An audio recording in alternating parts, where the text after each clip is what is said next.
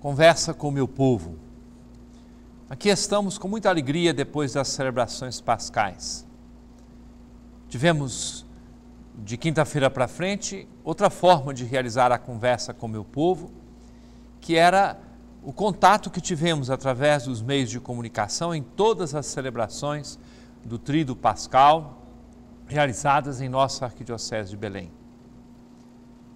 E aqui estamos juntos para continuar o nosso diálogo a respeito da vida da igreja. Hoje devo tratar com todos na nossa Arquidiocese de Belém e também com pessoas de outras partes da Amazônia e do Brasil que acompanham a nossa TV Nazaré. Na segunda metade de junho de 2004, foi promovida uma ação de descumprimento de preceito fundamental promovida perante o Supremo Tribunal Federal, na qual se requeria autorização em todo o território nacional para a prática do aborto, em qualquer período da gestação, nos casos de fetos com anencefalia, ausência de parte variável do encéfalo. A ação foi pedida em nome da Confederação Nacional dos Trabalhadores na Saúde. Amanhã, o Supremo Tribunal Federal decidirá a respeito desse pedido. Como o Supremo Tribunal Federal não tem autoridade para derrogar leis ou abrir novas exceções às proibições legais, o autor da ação pede que o STF interprete que a antecipação do parto de uma gestação de um anencéfalo, com a consequente morte do concebido, não se considere como prática de aborto. Pois bem, uma decisão favorável a esta ação pode abrir um precedente jurídico para a legalização do aborto no Brasil, que, de acordo com o Código Penal, é crime em qualquer situação, porém, não é punido nos casos de estupro e risco de vida para a mãe, o que não concorda com a lei de Deus e com a orientação da igreja, é claro. Colocar em pauta o aborto de anencéfalos é inconstitucional, pois fere o direito à vida. A Conferência Nacional dos Bispos do Brasil pediu que todas as dioceses se movimentem para, nesse dia, nessa terça-feira, realizarem oração, vigília, encontro, diálogo pedindo pela vida. Todos os sacerdotes, diáconos, pastorais, movimentos, escolas católicas, todas as realidades de igreja em nossa arquidiocese receberam ontem uma mensagem que vocês já estão vendo desde ontem em nossos meios de comunicação. Eu escrevi o seguinte: recebi da CNBB a mensagem que envio a todos solicitando-lhes resposta pronta e decidida ao apelo feito pela realização de uma vigília de oração pela vida, às vésperas do julgamento do Supremo Tribunal Federal sobre a possibilidade legal do aborto de fetos com meroencefalia, meros quer dizer parte, comumente denominados de anencéfalos. Levando em conta a brevidade do tempo, peço que todas as instituições de igreja, a saber, paróquias, comunidades, escolas católicas, congregações de ordens, movimentos, comunidades de vida e aliança, pastorais e serviços, organizem, da forma que lhes for possível, esta vigília de oração pela vida, neste dia 10 de abril, nas igrejas, escolas ou outros locais em que se reúnem os cristãos católicos. Neste dia, eu celebro a Santa Missa às 18 horas na Basílica de Nazaré, a modo de vigília nesta intenção, com transmissão, como sempre, pela nossa TV Nazaré. Na mensagem eu acrescentei: agradeço a pronta atenção de todos e a resposta, que será a expressão de nossa valorização da vida e a necessária união de orações, para que esta seja efetivamente protegida e se afaste de nosso meio o risco de aprovação de qualquer forma de aborto. Caríssimo irmão, caríssima irmã, estamos vivendo um momento muito sério, muito complicado, porque nós temos uma força de pessoas que trabalham a favor do aborto e querem encontrar todos os caminhos para a liberalização total desta prática abominável em nosso país. Algumas pessoas, em meios de comunicação, em cartas, artigos, consideram a nossa posição conservadora.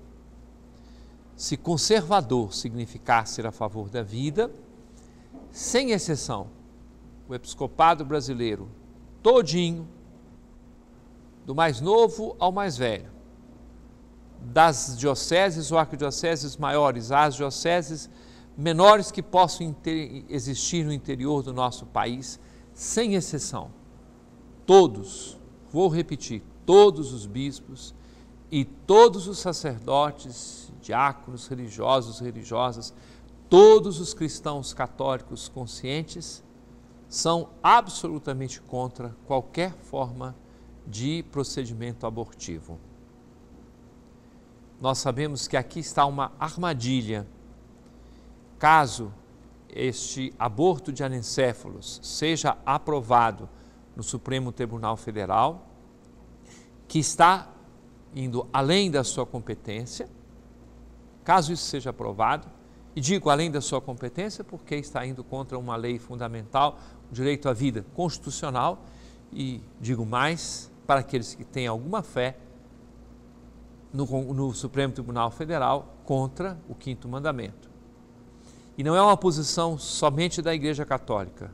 Todas as igrejas cristãs, também pessoas de outras religiões não cristãs, como espíritas, como outros grupos, também todos são contrários a esta é, investida terrível contra a vida. Nós precisamos tomar consciência disso, manifestar-nos e, a esta altura, no dia de hoje, a grande manifestação é para o alto. Nós nos dirigimos ao Deus Altíssimo, pedindo que o Espírito Santo ilumine a cabeça destes homens que têm que tomar uma decisão e, infelizmente, o que nós percebemos é que a tendência é antivida, é uma cultura de morte que se espalha, como em outras partes do mundo, infelizmente também em nosso país. Diante dessa possibilidade de legalização do aborto de fetos anencéfalos, percebemos o embuste que lesa a dignidade e a honra da pessoa humana. Posto o processo de fecundação, não se pode provocar uma interrupção direta e voluntária de uma vida humana, porque isso contraria a ordem estabelecida por Deus na natureza. Além de inconstitucional, como disse agora, é pecado de malícia peculiar que clama aos céus por vingança. A voz de tantos seres humanos, silenciadas ainda em botão, estão a bradar diante de Deus por uma resposta dele. Deus disse a Caim que matou seu irmão Abel: O que fizeste? A voz do sangue do teu irmão clama desde a terra até a mim. Agora, pois, serás maldito sobre a terra, quando tu a tiveres cultivado. Ela não te dará os seus frutos, tu andarás como errante fugitivo sobre a terra. O que pensar de um tribunal decidindo a sorte de incontáveis vidas de nascituros, a tentativa de revogar o quinto mandamento da lei de Deus e a própria lei natural corresponde a uma revolta contra aquele que o instituiu, aquele que criou a natureza humana. E se somos cidadãos, nós na Igreja Católica temos o direito de manifestar o que é a nossa convicção. Se outros se julgam no direito de ter posições diferentes, não nos podem tirar o direito de dizer o que pensamos e aquilo que nós expressamos agora com muita força. O aborto direto e voluntário, qualquer que seja a condição do feto, constitui pecado friamente premeditado, que revolta o senso moral do ser humano e consiste em crime de homicídio. A Igreja Católica pune com pena de excomunhão quem o pratica ou participa diretamente de sua execução. Mesmo que o pretexto para executar um aborto seja a anencefalia do nascituro, pois contraria a doutrina milenar da Santa Igreja. Deus, ao criar o homem à sua imagem e semelhança, concedeu-lhe um fim supremo e eterno, e somente ele tem o direito de tirar a vida de sua criatura. Ao ser gerada uma vida humana debilitada ou com defeitos, não se pode negar que ela tem uma alma imortal, concebida no pecado original e que deve receber o batismo, meio necessário absolutamente para se salvar. Pois assim se exprimiu nosso Senhor. Quem não renascer da água e do Espírito Santo não poderá entrar no reino dos céus. Cabe lembrar que o relacionamento de cada alma com Deus constitui um mistério que paira acima do desenvolvimento mais ou menos perfeito de sua sensibilidade e mesmo de sua inteligência. Tais relações começam quando a criança está sendo formada no seio materno e não podem ser interrompidas. Deus é o Deus da vida. Participe com a Igreja Católica no Brasil inteiro deste momento forte de oração, pedindo que sejam revestidas, revertidas as tendências que nós percebemos com relação ao julgamento do Supremo Tribunal Federal que acontecerá amanhã. Deus nos ajude e nos livre da cultura da morte. Permaneça conosco, porque daqui a pouco estamos de volta na continuação da conversa com o meu povo. Conversa com o meu povo. É muito bom estarmos juntos para aprofundar a nossa fé, aprender mais as coisas da vida da igreja, responder às perguntas que as pessoas apresentam. E o fazemos com esse desejo de que todos cresçam no conhecimento da vida da igreja, no amor a Jesus Cristo, na vivência dos mandamentos, na vivência do Evangelho. Perguntas que nos foram enviadas. A pergunta inicial desta conversa vem do senhor Carlos, da paróquia de Santa Eduviges. Eu gostaria de saber por que pessoas que vivem anos não são casados, vivem totalmente na vida espiritual dentro da igreja e não pode comungar. O que a igreja católica poderia fazer para esses casais? Porque tem casais que são casados e comungam e vivem mal. E assim mesmo recebe a Eucaristia. Eu gostaria que a Igreja Católica pudesse fazer algo para que essas pessoas pudessem comungar. Para mim, eu fico muito triste dentro da igreja. Eu sou, eu sou de uma comunidade, tem, pertencemos à missa, e muitas pessoas na nossa comunidade que não podem comungar. Para mim é uma tristeza muito grande, eu gostaria que você respondesse para a gente isso. Muito obrigado, seu Carlos. E é bom nós ouvirmos a sua pergunta, porque ela corresponde à interrogação que está no coração de muitas pessoas. Eu começo por uma observação que o senhor fez para depois chegar às situações a que se refere. O Senhor diz assim: há pessoas que, sem terem condições, se aproximam da Sagrada Comunhão. É claro que a igreja sabe quais são as condições para comungar, precisa estar em estado de graça. E as pessoas, se têm a formação adequada, devem sabê-lo e não devem se aproximar sem estarem devidamente preparadas o fato de uma pessoa ser casada regularmente cumpre uma das condições para ela comungar. Se aquela pessoa não está em estado de graça, então na realidade pesa sobre a sua cabeça a responsabilidade de comungar sem estar em situação adequada. Se eu, que sou bispo, estiver em pecado e buscar a comunhão sem me reconciliar com Deus previamente, eu estou errado. independente de casamento, não casamento, é uma questão de cada fiel que precisa tomar consciência, examiná-la e verificar, porque quem come e bebe o corpo do Senhor indignamente, come e bebe a sua própria condenação. É a palavra do apóstolo São Paulo, não é invenção minha. Agora eu chego, eh, senhor Carlos, à sua pergunta. Deus tem infinitos modos de tocar no coração das pessoas. Agora vamos pensar. A vida sacramental de confissão e comunhão na Igreja Católica, ela se destina àquelas pessoas que estão em situação regular. Há pouco tempo me perguntaram a respeito de uma pessoa que se preparava para o batismo, mas não queria se casar. Estava vivendo irregularmente com uma pessoa. Eu respondi com calma, com delicadeza, que ela devia se preparar primeiro para fazer as duas coisas.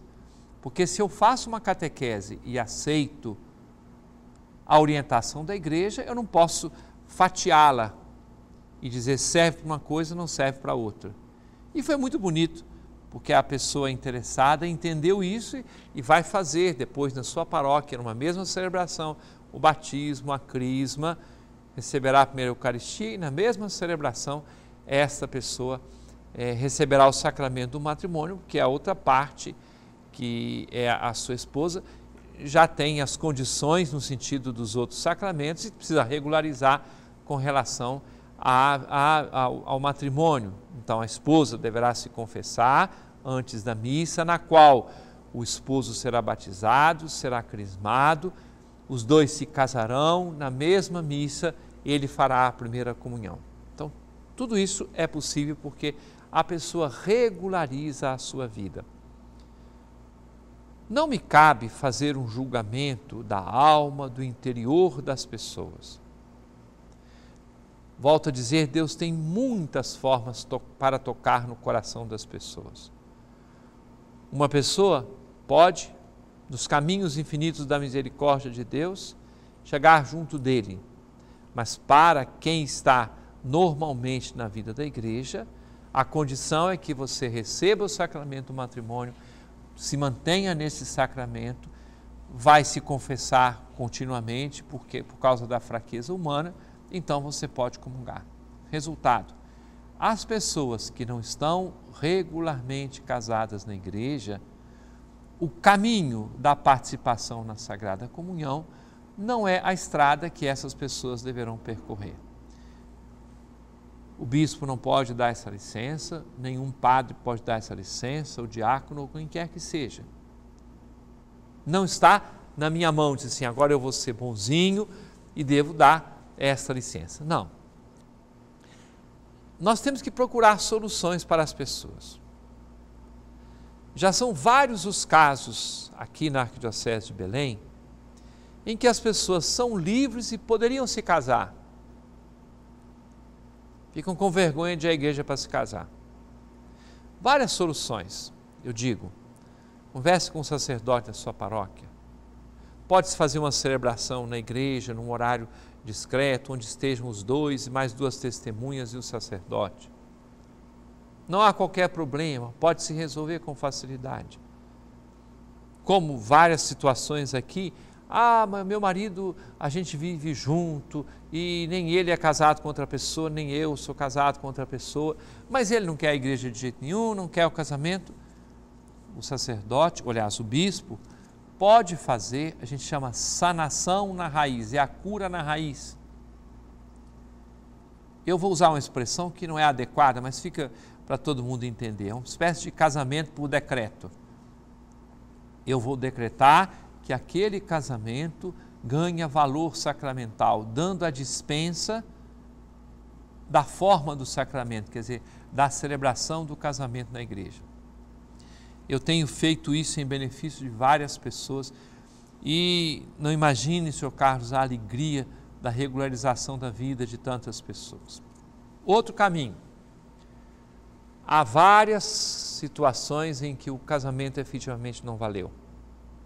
Nós temos o tribunal da Igreja Católica, que deve ser procurado por essas pessoas para analisar a sua situação. O tribunal vai estudar e depois vem a sentença. Alguns casos, não são poucos, se chega a uma declaração de que aquele casamento não teve validade. A igreja anula o casamento? Não. Constata que faltaram as condições adequadas para que aquele casamento tivesse o valor sacramental. Dou um exemplo. Uma pessoa foi forçada a se casar. Faltou a liberdade, aquele casamento não valeu. Quantos casamentos acontecem por aí porque é, a, a namorada ou noiva ficou grávida e o casamento é praticamente forçado, parece casamento de quadrilha de festa junina. É válido esse casamento? Não. E quantos casamentos aconteceram assim? Então que a pessoa procure e verifique se consegue regularizar o seu, a sua situação de convivência matrimonial. Mas aí o senhor pode dizer assim: não, caso que eu estou falando, as duas pessoas já eram casadas e o casamento foi regular e depois se uniram e viveram e vivem juntas. Se essas pessoas não devem se aproximar da Sagrada Comunhão, nunca deverão se sentir excluídas da vida da igreja. Eu, por motivos de saúde, há certos alimentos que eu não posso tomar e eu vou me sentir é, incriminado, eu vou me sentir é, depreciado por causa disso? Não. Eu sei que algumas coisas, estou falando do ponto de vista físico, eu sei que algumas coisas não me fazem bem por situações de saúde. Ora, uma pessoa que não pode receber a Sagrada Comunhão tem pelo menos duas outras formas de alimentar-se com Deus: a palavra do Senhor, a palavra de Deus o amor ao próximo. Eu considero que são três formas de comunhão: comunhão eucarística, comunhão com o próximo na caridade e a comunhão com a palavra de Deus. Aquela pessoa que, por circunstâncias da vida que não foram geradas pela igreja, é bom a gente observar isso. Foram escolhas feitas pela pessoa. Então, ela pode sim se sentir membro da Igreja de Jesus Cristo ela pode sim viver a comunhão com o Senhor através da palavra e do amor ao próximo. Não se sinta excluída da vida da igreja. Não vou fazer o julgamento final porque não cabe a mim. Deus tem os seus caminhos e teremos muitas surpresas quando nos aproximarmos dele, quando nos chamar para é, o paraíso. Nós teremos efetivamente muitas surpresas. No entanto, aquilo que o Senhor deixou para o caminho aqui na terra, quando o Senhor diz não separe o homem aquilo que Deus uniu, com todas as orientações que vêm do apóstolo São Paulo, vêm de toda a doutrina da igreja em sua história, então eu tenho que reafirmar aquilo que é a orientação da igreja. Agora, senhor Carlos, na sua comunidade, muitíssima atenção com essas pessoas, muito carinho com elas ajude essas pessoas a conversarem com o sacerdote. O senhor aí da paróquia Santa Eduviges, leve essas pessoas para conversar com o Padre Ineu. Ele tem uma sensibilidade pastoral muito grande, um carinho muito grande com todas as situações das pessoas. Vamos a outra pergunta que vem de Maria do Livramento. Fiquei muito feliz quando ele veio para Belém, dos trabalhos que ele prometeu para nós nas paróquias, que toda paróquia teria que ter pelo menos um mês a, a, a adoração ao Santíssimo. Nossas paróquias estão ficando fechadas, não tem adoração. Poucas paróquias estão fazendo adoração ao Santíssimo às quinta-feiras. Maria do Livramento, obrigado pela sua pergunta. Deve ter acompanhado na Igreja das Mercês, inauguramos um belíssimo ostensório feito por um artista de Belém, muito bonito porque lá será o santuário arquidiocesano da adoração perpétua a partir de 2016, mas já temos adoração diária lá na Igreja das Mercês. A recomendação é que todas as paróquias, talvez é, um pouquinho de informação você pode verificar, porque eu tenho a certeza de que a maioria das paróquias tem adoração às quintas-feiras. Mas vale o apelo àquelas paróquias que ainda não implantaram adoração às quintas-feiras, que procurem fazê-lo, porque se tornou uma prática muito bonita e que cresce cada vez em nossa Arquidiocese de Belém. Desça sobre todos a bênção de Deus Todo-Poderoso, Pai, Filho e Espírito Santo. Amém.